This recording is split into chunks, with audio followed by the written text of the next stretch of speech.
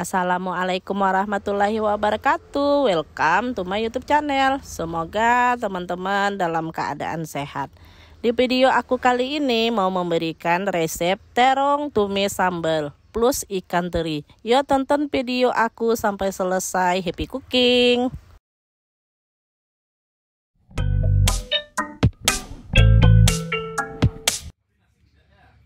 Yang pertama teman-teman siapkan sayurnya. Sayur terong. Nah ini aku pakai terong yang kecil itu ya teman-teman. Ini warna hijau. Nah kalau teman-teman mau ganti terong jenis yang pendek itu ataupun terong ungu juga bisa ya teman-teman untuk sayur ini. Nah ini aku potongnya seperti ini aja. Aku belah dua. Nah yang ininya aku potong juga dibersihkan sedikit. Seperti ini. Potongnya cara potongnya bebas ya teman-teman. Mau teman-teman iris ataupun mau teman-teman belah potongannya empat juga bisa selanjutnya untuk bumbu halusnya. Di sini aku haluskan pakai ulekan nah ini aku pakainya cabai merahnya 5 buah cabai merah. Selanjutnya di sini juga aku tambah cabai rawit setan 4 buah mix dengan cabai rawit warna hijau. Kalau teman-teman nggak suka terlalu pedas silahkan di skip aja cabai setannya. Nah selanjutnya bawang putih dua siung. Nah bawang merah juga dua siung. Sedikit ditambah garam. Selanjutnya haluskan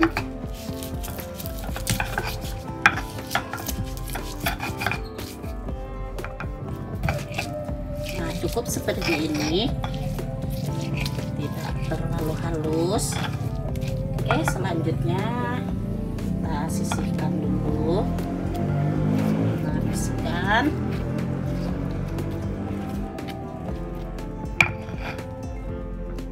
nah di sini juga aku ada lengkuas nah ini digeprek aja.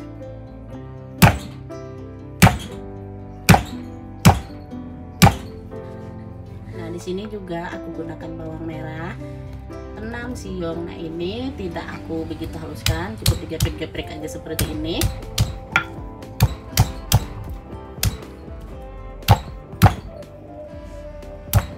Oke.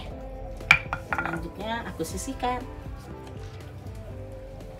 Nah di sini juga teman-teman bisa siapkan ikan teri. Nah ini ikan terinya ikan teri besar seperti ini. Ini aku rendam sama air biasa aja dicuci bersih.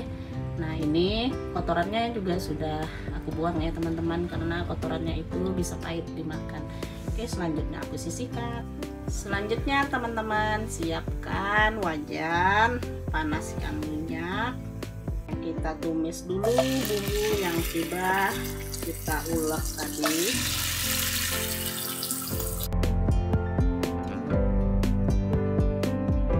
kita masak sampai bau-bau langonya itu hilang ya teman-teman.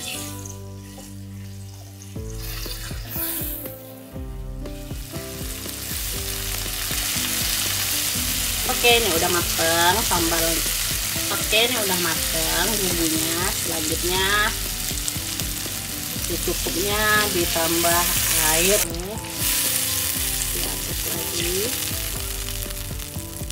selanjutnya teman-teman masukkan garam. Setengah sendok teh garam. Setengah sendok teh kaldu bubuk kita suka mecin silahkan teman-teman tambah. Nah udah mendidih. Selanjutnya teman-teman bisa masukkan terongnya.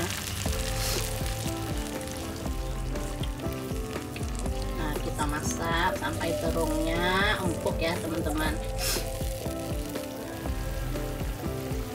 Selanjutnya teman-teman bisa tambah ikan terinya.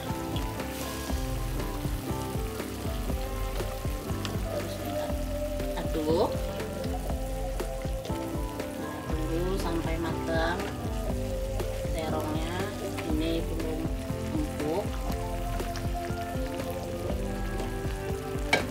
Kurang silahkan teman-teman tambah airnya.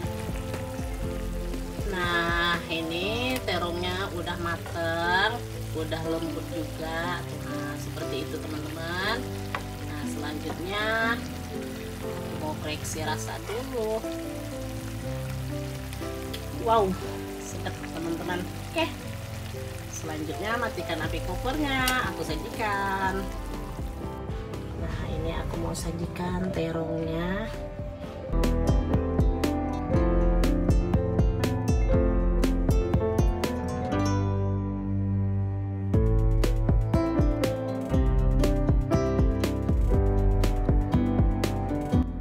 kurang lebih begini hasilnya teman-teman. Terongnya lembut gurih bumbunya pas perpaduan ikan terinya enak banget pokoknya mantul. Silakan teman-teman coba di rumah resep yang aku bagikan ya. Jika video ini bermanfaat jangan lupa bantu channel ini agar terus berkembang dan aku lebih semangat lagi dengan cara subscribe like komen dan nyalakan lambang loncengnya. Terima kasih. Wassalamualaikum